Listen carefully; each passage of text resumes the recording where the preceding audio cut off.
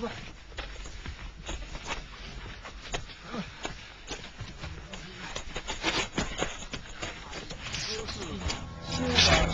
This technique exploits the opponent's weak points by making treacherous attacks. Beautiful.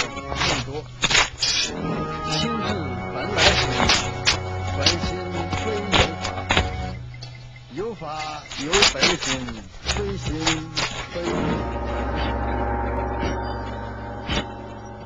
That is why physical training continues during meals. The horseman position recalls the time when early masters fought on horseback to maintain order in the empire. It's a position to test the novice's endurance.